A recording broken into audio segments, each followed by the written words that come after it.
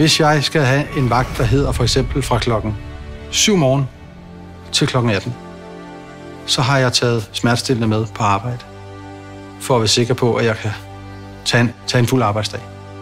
Om vinteren, der kan jeg godt mærke, at jeg har mere ondt i min håndled for eksempel, eller i knæene, fordi man ligger med nogle gange meget på knæene. Der skal nogle, nogle piller til i nyerne af for at komme igennem dagen. Det er en god arbejdsplads, men det er hårdt, og hvis ikke jeg passer på mig selv, så, øh, så slider jeg mig selv ned. Jeg frygter selvfølgelig, at, øh, at jeg ikke holder indtil jeg er 67. Øh, ja.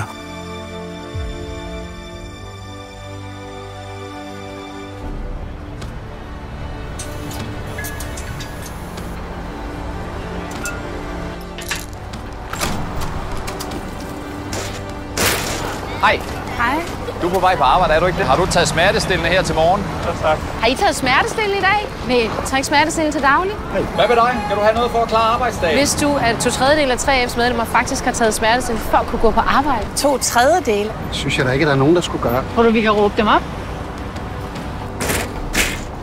Hvad med jer helt deroppe? Er der nogen af jer, der har brug for noget smertestillende?